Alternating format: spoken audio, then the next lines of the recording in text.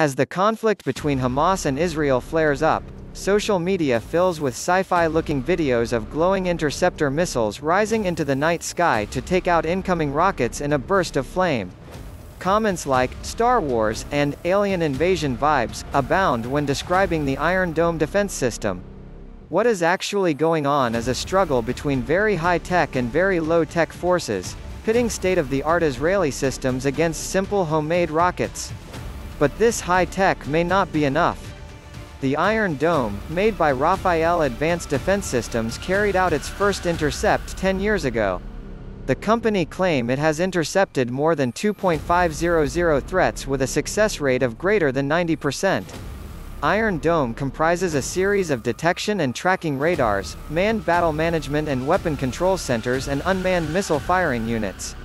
The units are dispersed allowing Iron Dome to cover the maximum area. The radar detects and tracks multiple incoming projectiles. The battle management system then determines whether each projectile is a threat, and assigns one or more interceptors.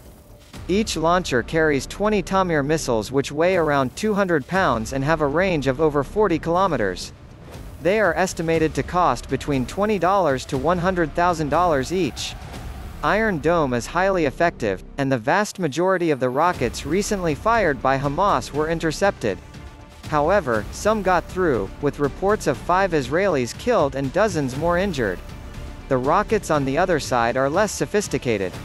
One of the original names proposes for Iron Dome was Anti-Qassam, Qassam being the term for the rockets made by Hamas.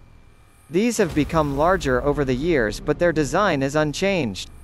The rockets are locally produced, the main component being the body which is a length of steel or aluminum piping with fins welded onto it. This is filled with rocket fuel made by mixing fertilizer with melted sugar.